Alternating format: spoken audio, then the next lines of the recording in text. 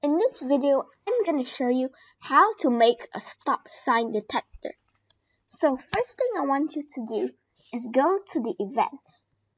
Now drag this when green flag click and I want it to go to the position you like. Mine is 0, 0.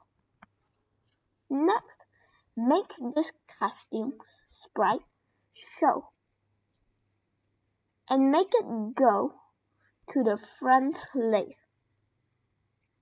Now I want to clear all the graphic effects and set my size to whatever size I like. I'll set mine as 100. Last of all, set the ghost effect to 100. Okay, so when you've done this, nothing will happen except making the stop sign disappear. And when you click stop, you can see the stop sign appears back. But before that, add a forever loop. And if you want the whole thing to slowly drag down, add and set variable. And I want to create a new variable named check timer. Okay, so I want to set check timer to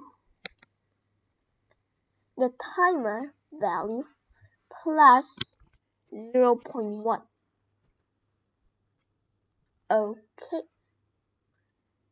Now, go to the events and add a when loudness block is more than 10.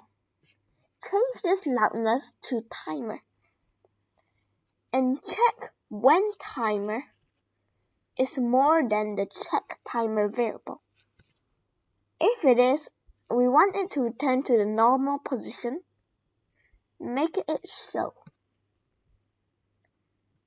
Go to front layer, clear graphic effects, and switch the costume to which costume you like.